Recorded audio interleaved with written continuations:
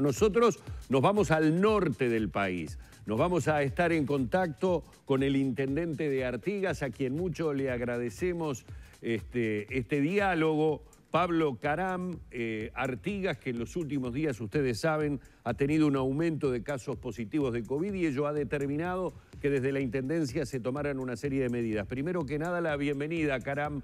¿Cómo le va? Buenos días. Eh, bueno, buenos días, Humberto medio este, coterráneo.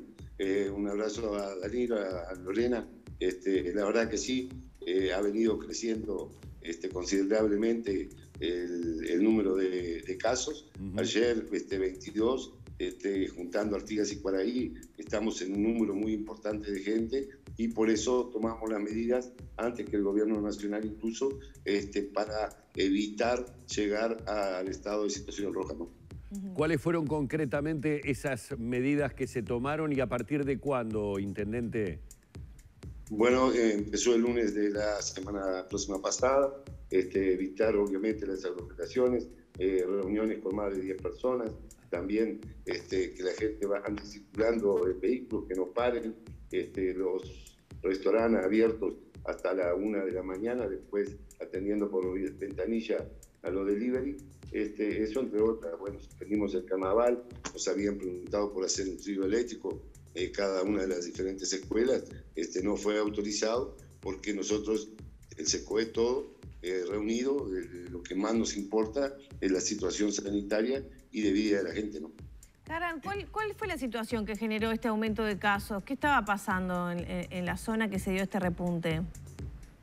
Acá en la frontera hay mucha gente que tiene doble documentación, tanto uruguaya como brasilera. Este, entonces, eh, uruguayos con documentación brasilera se fueron a playas eh, brasileñas y otro tanto este, se vinieron a las playas del Uruguay sin pasar por migraciones porque ese trámite no lo precisan hacer como son ciudadanos fronterizos. Claro. Los famosos doble chapa. Exactamente, son los Danilo son los famosos doble chapa. Yo tengo dos hijos, los dos hijos míos son doble chapa, así que sí conocer el tema. Pablo, y perdón, Lore, no sé si quería seguir preguntando, pero no, le quería preguntar, más allá de, esta, de este tráfico que hay de un lado y, al otro de la, de la, frontera, obviamente eh, en ciudades binacionales es muy difícil, o por, digamos, pensando en Rivera, pensando en Chuy, pero también para el caso de Artigas por ahí.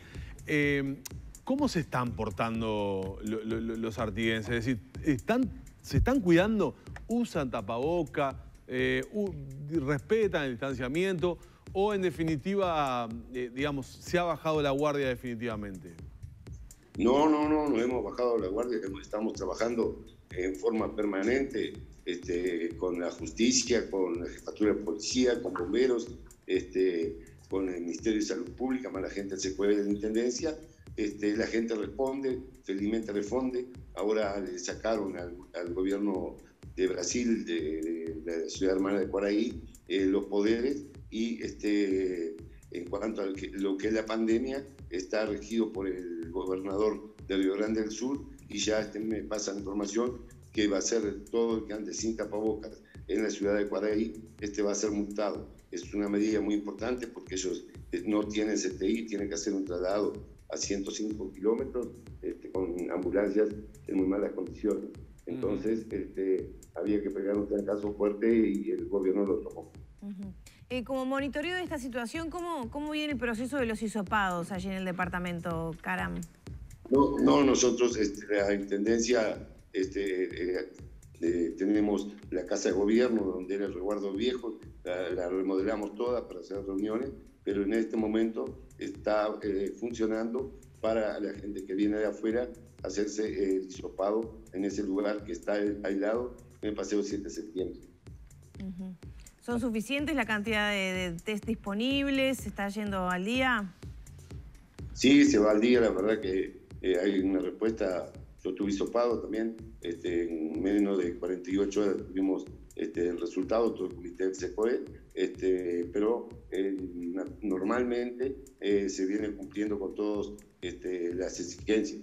De poder imaginar, eh, uno como intendente, ahora miraba al intendente de, Canelones, que a las cuatro y media de la mañana estaba este, visitando el mercado agrícola nuevo y el intendente siempre está a disposición de domingo a domingo las 24 horas del día.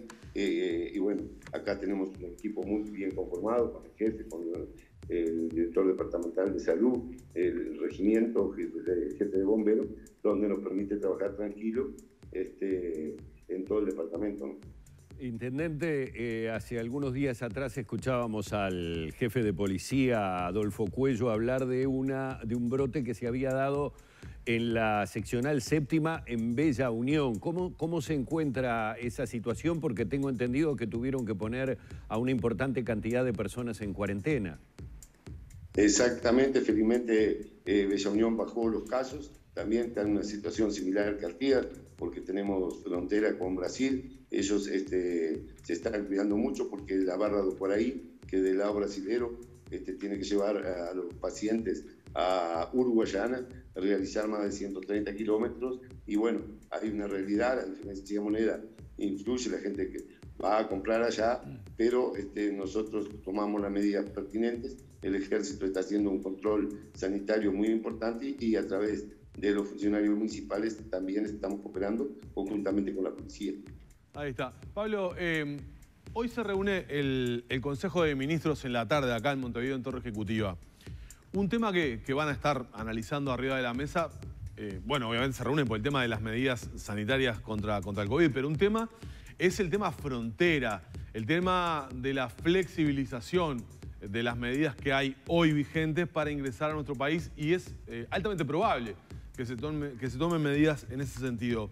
Para los departamentos que están este, en frontera con Argentina o con Brasil, ¿Es buena noticia esto o es mala noticia? Pensando en la situación que tenemos de COVID. ¿Usted qué piensa al respecto?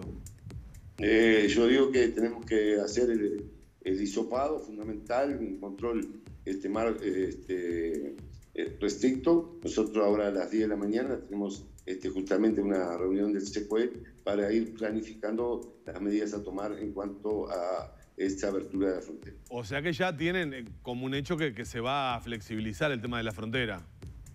Y nosotros venimos adelantándonos a las diferentes posibilidades porque no queremos que Artigas quede en nivel Colorado. Entonces, este,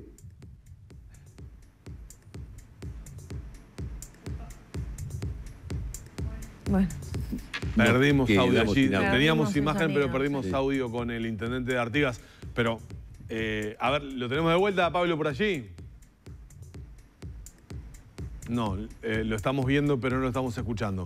Bueno, tenemos una dificultad con el tema del audio. Pero no es menor lo que acaba de decir, ¿eh? Porque de alguna manera ya se vislumbra que eh, políticamente se va a tomar una decisión de flexibilizar el tema del ingreso, lo que para muchos es una buena noticia, obviamente, porque bueno, se necesita de, la llegada de turistas, de la llegada de extranjeros al país, obviamente, eh, para muchos rubros, pero para las autoridades, por ejemplo, sanitarias, las autoridades departamentales, las autoridades eh, que están trabajando en el control de frontera, significa, significa un doble esfuerzo, ¿no? Es decir, extremar el trabajo y las medidas justamente eh, sanitarias. ¿Está por allí, Pablo? los riesgos. Es así. Ahí este, está. Nosotros, este, ¿Cómo, ¿cómo están trabajando frente a esta posibilidad, Caram? Bueno, eh, como te decía, vamos a tener la reunión ahora, pero este, ya llevamos este, diferentes planteamientos, eh, vamos a volver al control este, sobre las rutas, eh, hay dos controles, vamos a poner más este, por parte del ejército, que, y bueno, y quiero destacar el trabajo del personal de la salud, que en forma incansable está este, apoyando todo lo que sea para la solución del COVID-19 en Asturias. Bien, muchísimas gracias por estos minutos en diálogo con Arriba Gente. Caram. No, un abrazo a todos, muy amable y bueno, eh, arriba gente.